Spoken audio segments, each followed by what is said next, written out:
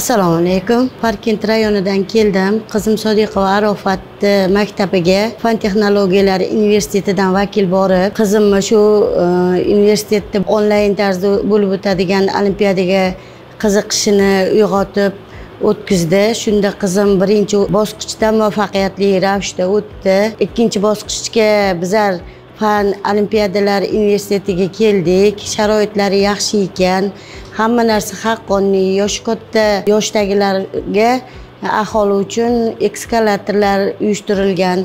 Qizimni monitoring orqali onlayn tarzda e, o'tayotgan imtihonlar jarayonini o'zim ham ishtirok etib tomosha qilib o'tirdim. Sharoitlaringlar uchun xudo xohlasa qizim grant yutib olishiga tilakdoshman.